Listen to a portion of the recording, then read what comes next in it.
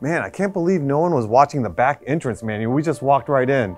No, just kidding. We're actually here on official business with our friend Ray Shaffer with Broad Arrow to give you an exclusive look behind the scenes, literally behind the scenes. Yeah. You've never seen a ballroom like this. I know you guys know what you're talking about when it comes to Porsche cars. Some very rare examples here for you. You're going to have a lot of fun digging into the details. So why don't you guys go have some fun? Over 140 cars here for the auction, but we're going to focus on the Porsches. And we're here before the auction starts. It's all quiet, just us. So come along.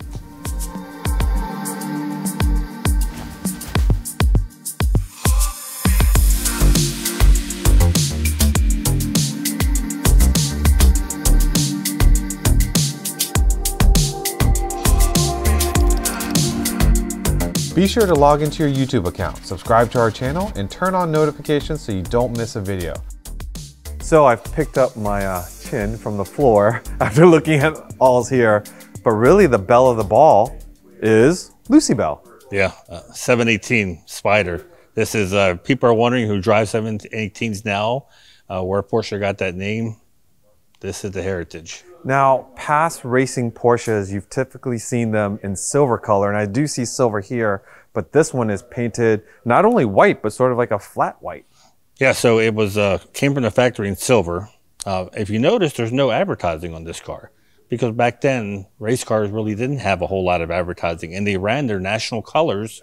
And for United States, it was white and blue stripes. You know, Ferrari was always red, um, French blue.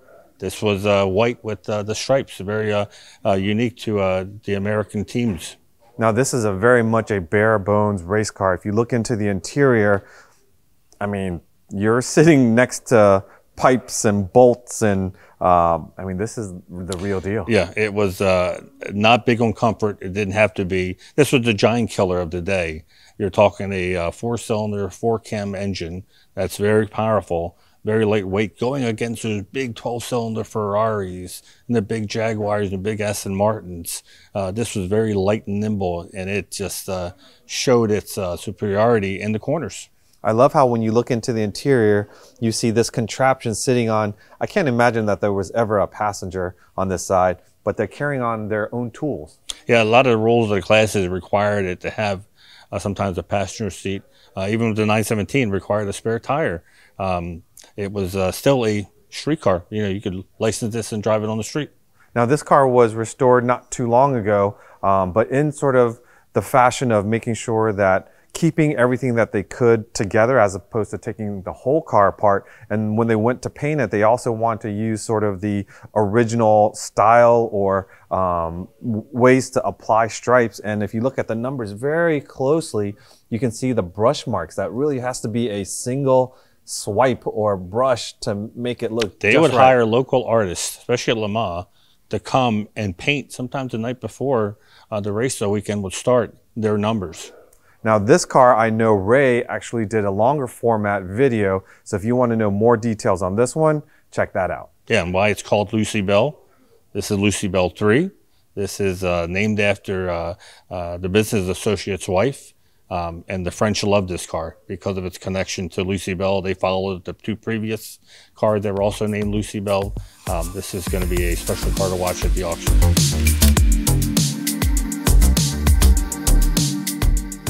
So Manny, if Lucybelle might be above your budget, here at a third of the cost, you might be able to pick up this 1971 914-6 GT. Well, you know, I love 914s, and this is the holy grail the of, for 914 enthusiasts. It is. Uh, they only built 12 of these factory 914 6 GTs. Uh, there was only three they put aside for rallying, and this was the Monte Carlo rally team, one of three. That's pretty rare. So maybe take us from the front to back quickly of some of the key things that makes this car unique. Well, the most obvious thing is the fender flares uh, which I think they should have put on all the 914s because it really changes the look, gives it a much more muscular feel to it, and something that in the aftermarket, a lot of people have upgraded their 914 to the flares, which allowed wider wheels. Um, but this car was all about lightweight. The lighter the weight of the car, the more nimble it was, especially in rallies. And so every little bit of weight mattered. And on the headlights, where in the normal cars, there's separate motors for each headlight. This was a series of cables that they would pull to lift up the headlight. So this is not a malfunction. This is just in the up position. Exactly. And they had to manually put it down. There wasn't any motor, once again, to automatically put it down. The uh, hood, fiberglass. Now was thin fiberglass, so they actually used balsa wood in the front and rear to help reinforce the hood. Uh, balsa wood, super light. Absolutely. And if you take a look at the interior, also all business. It, it's typical 914. They haven't changed a whole lot. They have the uh, the, the race seat in it, but it still uses the 901 five-speed transmission, the dog leg to the left. It was uh, a pure business, but a great sales tool for uh, for 914s because a 914 owner saw this and saw the same thing in their uh, little four cylinder that they took home from the showroom. Now, as a motorhead, there's really nothing more beautiful than this view right here. Yeah, this was the GT engine, the six cylinder, uh, putting out a little over 200 horsepower. It uh, made this car a uh, rocket ship.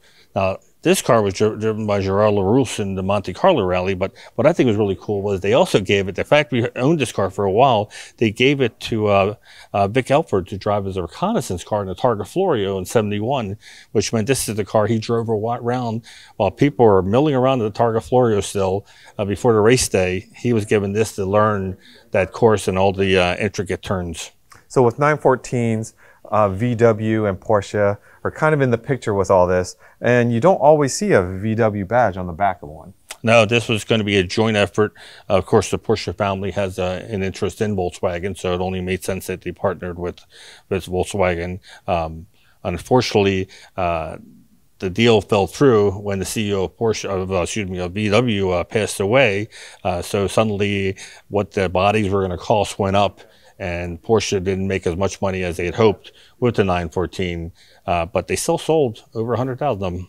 Now you have a very original 73 914, not the sort of tough Brutus look of this one, but you very much enjoy yours. Yeah, mine's only 95 horsepower. Uh, probably one bank of cylinders uh, has more horsepower on this car than mine. Gorgeous car.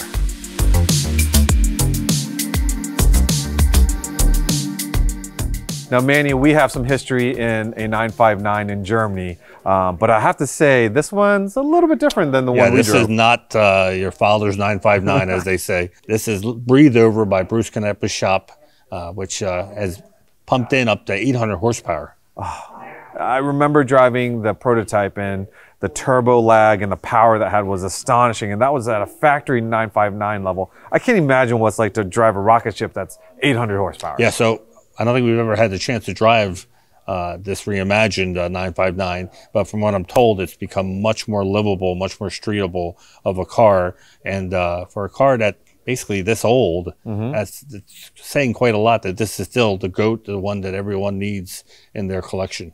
So when they go through this car, not only do they make it more livable, add more power, but it's a perfect opportunity for you to add your unique touches. And one of the most unique thing about this car is the oak green metallic paint. Yep, you want to make it, uh, like you said, exclusively to your taste, uh, like this owner did. This is what you do. Uh, but even before uh, uh, Canepa Design touched this car, the history it had, I think, makes this super unique that you can tell everybody who comes to look at this car what makes this car unique. Absolutely. So for those of you that are watching that are GTR fans, this car has a direct connection to that. Nissan bought the 959 to better understand what Porsche was doing to help them inspire themselves as they designed the GTR. And I'm sure they paid a little bit less than the asking price or the estimate for this car because this one's looking to go for 3.2 to 3.5 million.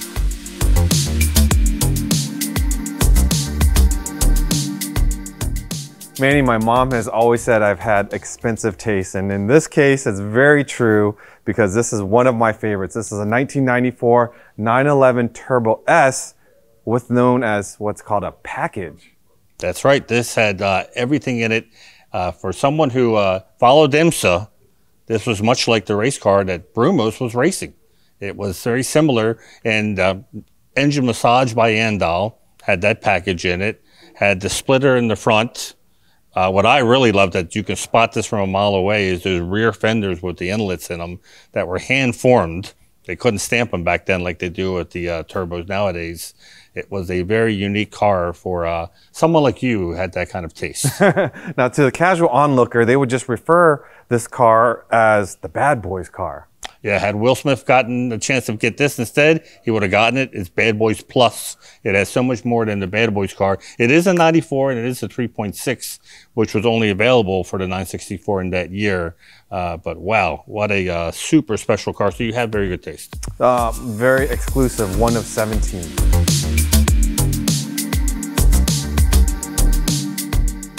Manny, we've been around uh, Carrera RSs. Uh, and we're still actually standing next to one, sorta. This is a, a Carrera RS body, uh, but it was actually purchased as a body in white.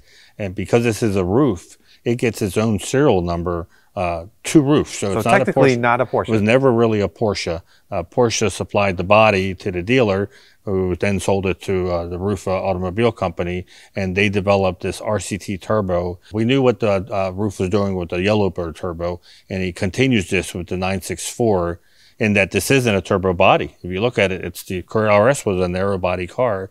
So they do that for aerodynamics, as we learned. You don't have to have the turbo body to get the fastest speed. Uh, he didn't shave the rain gutters, but he put these little inserts, which nowadays, if you look, you can buy aftermarket and put it on your own 964 or G body to make it a little bit more aerodynamic a lot of the Porsches today, especially with the regards to the interior, people like to customize them. And it looks like this car has a pretty unique interior that was inspired by a Porsche. Yeah, by Ferry Porsche's personal 911. It has like a silver knit uh, inserts in the uh, Recaro uh, race seats that are uh, leather on the outside, very sporty. It came on the RS. Had a 3.6 single turbo. Uh, that produced 370 horsepower. Of course, they changed little touches that Ruf added on, like the center panel is now gone where it said Porsche.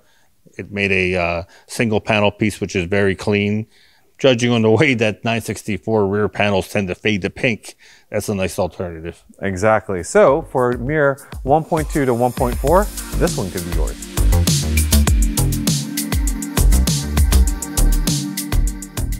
Manny, my eyes are having a hard time focusing on all these cars. And here we are standing next to yet another vehicle that's probably close to a million dollars in uh, price. And to some, they may go, oh, it's just a 993. In fact, it's just a 993 Cabriolet. Oh, it's something much more special than that. Yeah, because uh, Porsche didn't make a turbo Cabriolet in, nine, in 1995. And furthermore, when they did finally come out with the 993 turbo, it was all-wheel drive, neither which is this. Now, today we know about the Sonderwunsch program, and you can, you know, outfit or come with some crazy ideas. But back then, this is a creation of one of only 14 that were made. Yep, a dealership uh, approached uh, Porsche Exclusive and said, uh, uh, basically, how many would it take for you to build a turbo cabriolet out of a 993 because it wasn't available yet? They said 14. Now, Manny, many people will see some familiar things. We see speed lines, we see these Euro markers. But back here, things get a little bit interesting. Yeah, so they didn't have the twin turbo yet. That hadn't come out. And they didn't have the turbo body. So they use a narrow body, but they take the turbo engine from the 1994 964 and they retrofit it inside this 993. And this is not an all-wheel drive car. It is a rear-wheel drive. Simply rear-wheel drive, which uh, is not something you usually hear when you hear of a 993 turbo, which makes it even more special. And add to the fact that it's also a cabriolet. Exactly.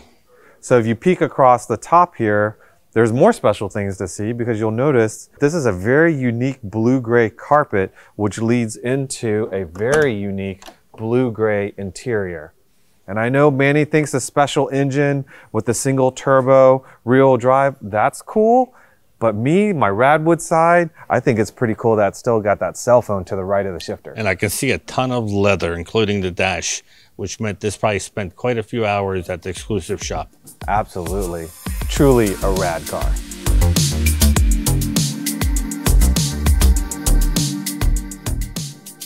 In the sea of wonderful cars, this blue pops. It's actually a 356 color. I don't think I've ever seen a 356 of this color, so I'll take your word for it. But yes, it is striking. Adria Blue. And this is a 1998 Ruf BTR estimated about a million dollars. And this was once again a very exclusive car. They only made ten of them. It's uh, now at this point he's gone back to shaving the gutters, just like the 959. It had the uh, 3.6 turbo, putting out I believe 420 horsepower. Um, standard six six speed transmission, uh, Ruf wheels. It was uh, made for top speed. Not only top speed, but top speed in comfort. Because if you take a look at this interior, this mocha brown interior is just simply gorgeous. And if you notice the on the uh, A pillar, B pillar, it's a little thicker than your average, uh, say 993, because it has an integrated roll bar. integrated roll, roll, roll cage uh, that goes from the front to the rear. So uh, not only is it fast, but it's also very safe. And as opposed to some roll cages where, which are exposed and you need to wear a helmet to protect your head, this is all properly padded and it's very functional. It's such a beautiful ride.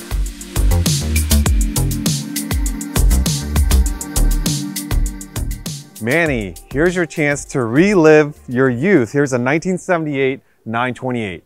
This is this is the one that was going to replace the 911. Porsche was gung ho that the 911 would reach its end and the 928 would be the car of the future. The 928s really are coming into their own. For a while there, people were kind of afraid. They were so ahead of their time, complicated maintenance and all that. But something like this now really does kind of pop in the sea of all these cars. What I like about this is it's something I can afford. 50 to 70 is the price they think they may get for it. Like you said, first year car, but look at that interior. Not only do they double uh, double down with this, they've got a green leather and Pasha. Not only green leather and Pasha, but you can't deny how cool the green shag carpet looks. It's uh, it will win Radwood, appropriate since it's here at the Radwood section for uh, the Broad Arrow auction. But before Porsche was putting aluminum in their modern cars, they were doing it back then with this car. The hood, the fenders, the doors were all aluminum to make this as lightweight as possible. Now, this vehicle here is a five speed. How much of a difference does that make in driving it? Well, the only other option was a three-speed automatic, so it made a huge difference, much more sportier. Way cool.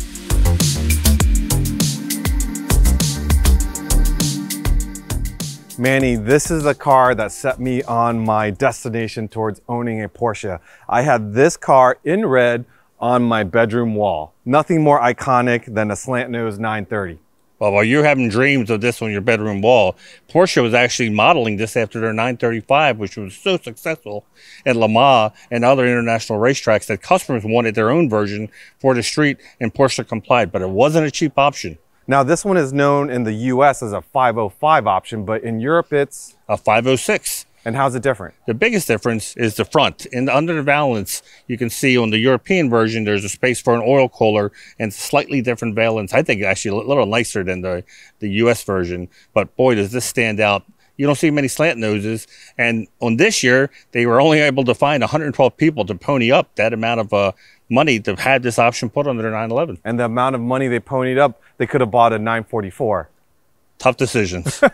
Now, these cars are often uh, replicated, or um, there's been packages in the early 80s where they took a standard 911 and did a slant nose conversion on them. But there are a couple of things that you can look at to see and understand whether or not it's a genuine factory built one. Yeah, it's the, uh, the, the, the, the vents here on the fender. Usually it's hard to replicate the factory. The fact that it's steel, a lot of them went fiberglass. So remember, the uh, original option was almost $30,000. So people were encouraged to try to get a cheaper way to get this done to get the same look. But the coolest thing is, I like to use this for uh, trivia. How many Porsches use wood? I know. And if you're wondering where would they use wood on a slant nose 930 Cabriolet, the vents right here, these slats. If they're legit OEM, they'd be wood. And how can you get this car without box rockers? Oh, Look at those rockers. You have to. It's iconic. it. It goes with the car.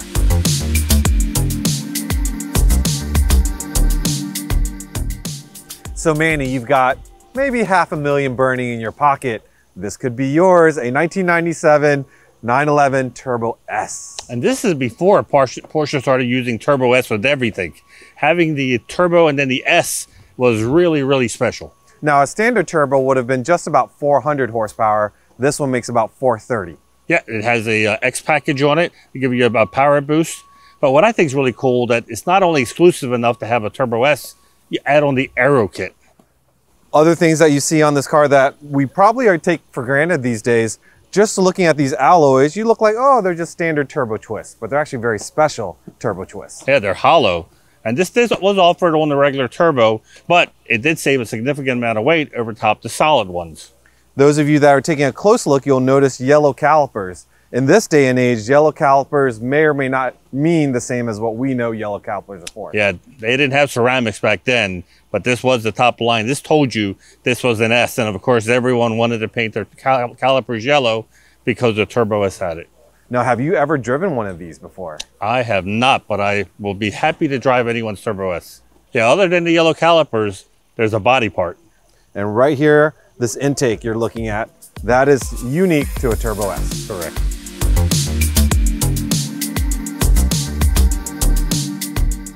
Manny, everyone loves a GT3, and this one is an aqua blue metallic, pretty rare color. It's not only rare, but it's the 997.2 GT3. So you have no sunroof, center lock wheels. It's starting to look more and more like a factory cup car. It with is. a nice leather interior, but it's still that 997 shape and the size. This has uh, become the must-have GT3, I think, in the whole GT3 lineage. And check out the interior, the seats that are the must-have. So a lot of people try to retrofit those seats into their 997s and GT3s, but those come at a premium. Yeah, some people love them, some people hate them, but boy, do they look good in this car. Here we are at the business end of this GT3, and there's a telltale sign that this car is unique from a dot one car. That's right, 3.8.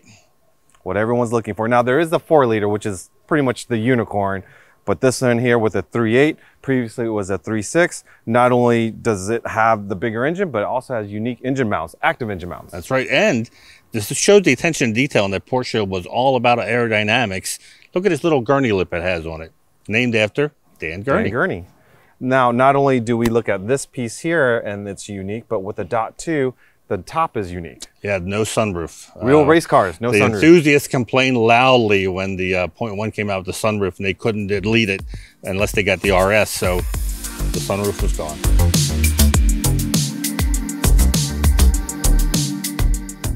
Now, Manny, over here might be something within my budget. Here is a thirty to fifty thousand dollar Porsche. 1960, still vintage. It's red. It's actually a two seater. It looks like a single, but it has a side saddle seat too. Oh, I didn't notice that. Now, I could also n- not only afford it, but I might go racing at Rennsport next time. That is the hot ticket. they actually had two races at Rennsport 7, and if you had a Porsche tractor, you had a good chance of being accepted, and what a way to show off. Now, I know they make different sizes. What size is this one? This is the standard.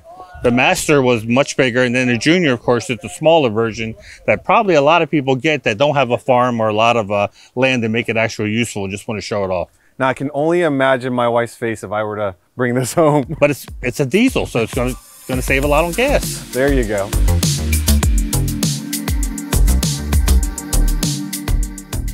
Manny, you're just teasing me, bringing me over to a 356. Well, everyone who listens to our podcast knows that you said when you turn 50 this year, you want to have a 356 in your collection, Now, this could be me if I had about $100,000 or so to spare. which is affordable, believe it or not, for a in, 356 now, in the collection that we're walking around and seeing, actually 100 does seem very reasonable. Now, this is a 1959 356, which I thought was an A. Most people would say, an A. of course, Porsche, they always did this thing in transitions. Once they ran out of parts and they had the newer parts, they would start building with the newer parts.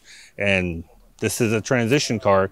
It's listed as a 59, but it's got the B body and the features of a B. Now this one seems to be a little bit on the modified side. I wouldn't say it's a hot rod, but there's some touches that the owner has done to make it maybe a little bit more sporting. Yeah, well, obviously he improved the seats, steering wheel, uh, definitely a driver.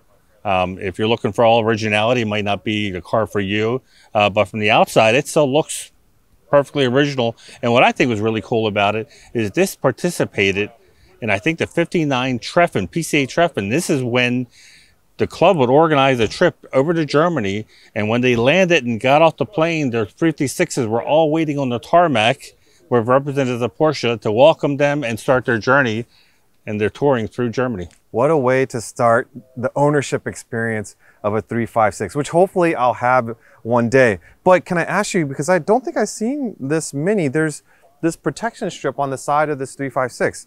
I've seen a lot of 356s and not all of them have that. Yeah, this was like the speedster stripe.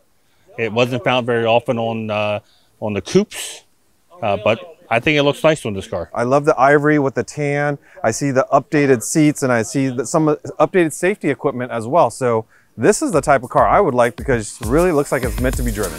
Exactly.